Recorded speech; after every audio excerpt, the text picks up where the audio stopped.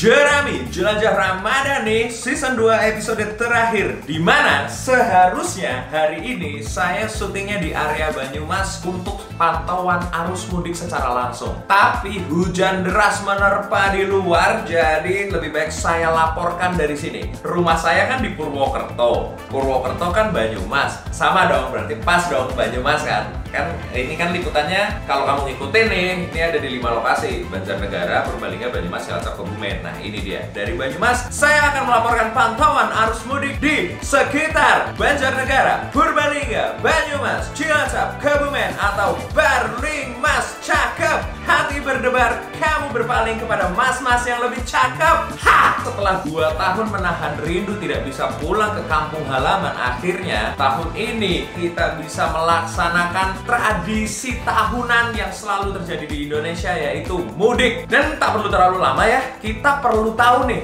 kondisinya seperti apa sih mudik di area X Karnisidenan Banyumas ini. Jadi kita langsung hubungi dari yang pertama ada dari Purbalingga. Pura-pura bahagia lihat kau berpaling dan berkeluarga. Ada rekan Jimmy. Silakan langsung melaporkan.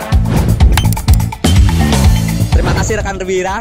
Saya Jimmy dari Purbalingga Reading Pariwisata di perempatan Sirongge. Terlihat ramai lancar padat merayap sampai arah Bojong Sari. Di sini banyak pelat dari luar daerah terlihat mudik melalui Purbalingga. Bagi para pemudik, jika lelah beristirahatlah, jika haus minumlah, jika lapar maka makanlah. Terima kasih, saya Jimmy melaporkan langsung dari Purbalingga. Kupat disiram santan, menawi lepat nyuwun ngapunten. Oke, terima kasih, terima kasih sekali rekan Jimmy atas laporannya di Purbalingga yang sepertinya videonya sangat biasa ya masih canggung di depan kamera sebenarnya. Tapi tidak apa-apa, sudah terliput dengan baik di situ keramaiannya lumayan ya. Dan selanjutnya kita akan terhubung dengan rekan yang cukup jauh dari sini yaitu dari Banjarnegara. Banyak janji kau umbar namun kau pergi tanpa bicara. Ada Mas Panji, silahkan laporkan. Ya, terima kasih rekan saya Wira. Uh, saya Panji melaporkan dari wilayah Gumelem dinyatakan secara langsung namun belum tentu mendapat tanggapan darinya. Seperti yang kita lihat, Desa Gumelem sudah terlihat sangat penuh sesak berbanding terbalik dengan hatimu yang belum juga terlihat. Tahu bulat. bulat apa sih? Digoreng. Ratuku.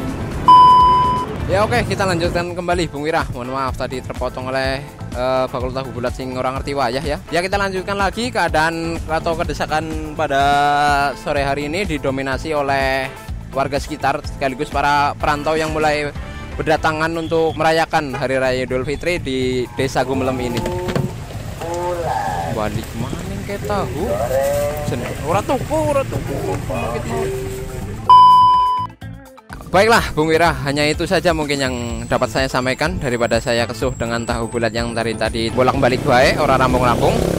Mungkin hanya itu sebagai penutup, mungkin kita ambil saja selayaknya tahu bulat yang tadi lewat. Seperti itulah niat dan tekad para pemudik hari ini untuk datang ke, ke Gumelem, yaitu bulat dan penuh kehangatan. Baik, Bung Wira, saya kembalikan dan terima kasih. Wassalamualaikum warahmatullahi wabarakatuh. Wah, terima kasih Mas Panji yang sudah dibubui sedikit sajak-sajak yang cukup tapi gak apa-apa Mas Panji, Anda sudah memberikan warna-warna dalam liburan dalam liputan kali ini. Seharusnya saya melaporkan liputan ini bersama rekan saya, tapi lihat rekan saya sudah mudik ya. Alias saya gantikan dengan guling dengan sebuah makna bahwa wonge ora kanggo gawe. Tura turu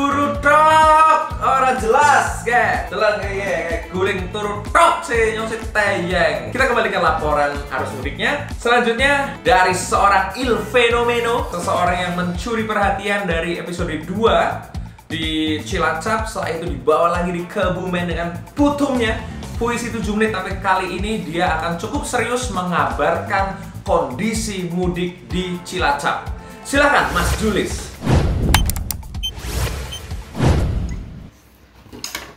Masya Allah ayo mana si turu tangi tangi tangi tangi Jera peliputan mudik, Berapa sih? Ah, liputan mudik apa badak? Ya badak lah. Wah, lagane emang pada badak budu. Ya, sih, sini, kenapa nih liputan lah? Ya, terima kasih rekan Wira. Saya Julis Tio Mulfanto melaporkan langsung dari Kabupaten Cilacap. Saya di sini berdiri di atas menara pandang untuk memantau arus mudik khususnya lewat jalur udara di Kabupaten Cilacap tahun 2022. Sampai sekarang terpantau masih sangat sangat sangat lengang. Bisa kita lihat semuanya itu uh, arus udara di Kabupaten Cilacap masih sangat lengang. Mungkin uh, pemerintah di Kabupaten Cilacap sudah menyiapkan antisipasi-antisipasi apabila ada kepadatan yang sangat-sangat padat mungkin akan diberlakukan one way atau satu jalur. Jadi untuk pesawat yang ke arah Mulon dingetankan semua. Mungkin seperti itu. Ya. Mungkin seperti itu laporan dari saya rekan Wira untuk kru yang bertugas saya dari Cilacap uh, mengucapkan minal aizin wal faizin. Uh, mohon maaf lahir dan batin. Selamat Hari Raya Idul Fitri. Kocak. Terima kasih laporannya Mas Julis. Terlihat sekali betapa harmonis keluarganya Mas Julis ini ya Digugah bojo lur Perkara digugah bojo kan orang rasa dikirimnya ya nurah papa Kenapa Kenapa pas gugah datang dikirim kan laporan di udara ini juga udah kocak tapi terima kasih loh, dengan ada video di Google bocornya jauh-jauh lebih kocak, harmonis seperti itu teman-teman. Kalau suami melakukan apa, istri melakukan apa, saling dukung gitu loh, kan jadi terlihatnya seru gitu. Thank you Mas Yuris atas laporannya di Cilacap. Terlihat udara Cilacap juga masih biru, bersih, dan cerah sekali seperti senyumanmu. Ha! Dan selanjutnya adalah laporan dari tempat yang kemarin baru saya singgahi, yaitu dari Kebumen. Tapi saya tidak berani. Pak Jibril, saya ada nomor WhatsAppnya, tapi nggak berani untuk nomor saya pak membawa menawi sakit damel video lah. Anu laporan niku nopo mudik-mudik teng Kebumen. Pak saya nggak berani gitu, padahal tinggal diketik dikirim tapi nggak berani. Riko, kita harus tetap menanamkan Riko dan sopan santun kepada orang tua. Jadi liputan dari Kebumen, insya Allah lancar jaya. Saya percaya itu. Sip, mantap. Oke, selanjutnya langsung dari Aji Barang. Aku berjanji bahwa cintaku kau seorang akan langsung dilaporkan sama reporter Adit. Silakan.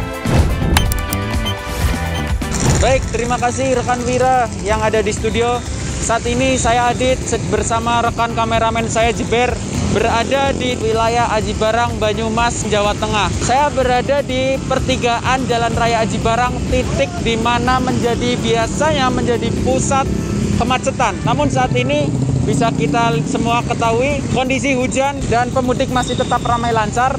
Saya akan mencoba mencoba mencari untuk diwawancari. Ya pemirsa, saya sudah mendapatkan saya sudah mendapatkan narasumber untuk diwawancarai. Aja lu ngasih Bersedia untuk diwawancari Bapak? Bersedia Mas. Boleh perkenalkan dirinya Pak? Nama saya Amin Mustafa Mas. Ya, Bapak Amin. Rencana mudik ke mana Pak? Kebetulan saya mau pulang ke Cilongok Mas.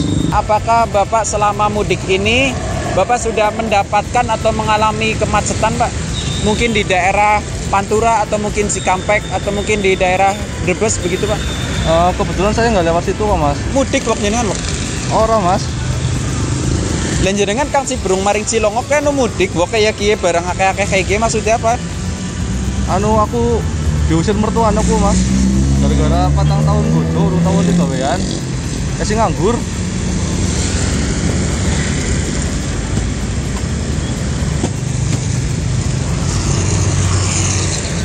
Baik rekan Wira saya kembalikan ke Anda saja Mas Wira. Terima kasih cukup sekian. Bisa, ini kameranya bu Mantap sekali ya Adit. Dari kostumnya terlihat kostum paling bejaji kejenengnya diperintah kon gawe liputan niat kayak gue terbaik memang beda ya didikan Mas Panji Pragiwaksono. Kembali ke daerah terlihat ada perbedaannya. Mungkin dia memang pengen memberitahu kepada semua orang bahwa saya telah dididik Jakarta. Bagus, lumayan rapi dan oke sekali. Terima kasih Adit. Dan selanjutnya dari seseorang yang ikhlas nggak ikhlas untuk melaporkan. Jadi beliau ini kemarin ikut di liputan Kebumen di mana disodorin kamera untuk berhumor tidak bisa terus. Katanya orang paling lucu di komunitas stand Purwokerto hari ini. Tapi di deng kamera orang yang ngomong jajal arep ngapa. Saya beri kesempatan dia untuk meliput di area Purwokerto. Silakan rekan restu. Terima kasih rekan Wira, saya Riono melaporkan jalur mudik di Purwokerto terpantau sepi. Minggir nyot balapan gitu. Maaf sih. Maaf teman-teman. Maaf teman-teman, saya ternyata di jalur balapan. Terima kasih rekan Bira, saya Surya melaporkan dari Pursel, Purwokerto Selatan. Di sini arus mudik terpantau sangat lancar dan cuaca hari ini sangat cerah. Ya, untung orang udan. Soalnya ini udan melasi, manusia silver. Nama manusia silver mas? Lah orang tahu perawatan? Terus ngecat ngecat ke sok sok apa udan. Terus yang mudik, macam manusia silver. Iya. Laporan hari ini cukup, saya kembalikan ke rekan Bira. Wow. Yang liputan malamnya sih ya oke lah. Yang liputan siangnya wow, keren banget sih. Saya suka banget tuh. Cuman masalahnya cuma satu, itu kenapa videonya nggak dilanjutin? Kan seharusnya pas mau mau balapan itu set set set udah kocak nih, harusnya dibablasin weng atau reporternya ditabrak brar gitu kan lebih chaos gitu terlihat lebih wow inilah liputan non mudik tapi kocak tapi tidak dilakukan nggak apa-apa ya Eh, terdengar kabar dari Mas Restu katanya koplingnya pedot. Lah naik kopling pedot ya malah naik direkam malah tambah kocak ya kok duduk kayak gitu guling sisan. Tok ya guling kayak gitu alias ora kanggo gawe Demikianlah para pemirsa, terima kasih sudah mengikuti rangkaian Jerami Season 2 Ini adalah episode terakhirnya, cuma 5 episode untuk Jerami tahun ini. Doakan semoga Jerami Season 3 saya bisa jual ke sponsor atau ada sponsor yang langsung Wah sini sponsorin. Kalau disponsorin saya akan siap menyajikan video-video yang sesuai kontrak saja. Insya Allah Jerami Season 3 pasti akan dilakukan tapi konsepnya seperti apa saya juga belum tahu. Terima kasih buat teman-teman yang sudah menyaksikan semuanya. Terima kasih juga kalau kamu juga rela untuk subscribe channel ini walaupun saya masih angot-angotan dalam upload alias upload tergantung mood. Tapi namanya juga kehidupan, tenanglah. Di dunia ini pasti akan tercapai apa yang kau inginkan. Mimpi-mimpimu dan juga video-video baruku. Kurang lebih begitu rangkaian dari Jerami Jelajah Ramadhani Season 2. Salam buat seluruh keluarga di rumah. Terima kasih sudah menonton sampai saat ini. Buat yang masih mudik, hati-hati di jalan. Dan selamat Hari Raya Idul Fitri. Mohon maaf lahir dan batin teman-teman semuanya. Dan tetaplah berbiasalah, berbahagialah. Terima kasih.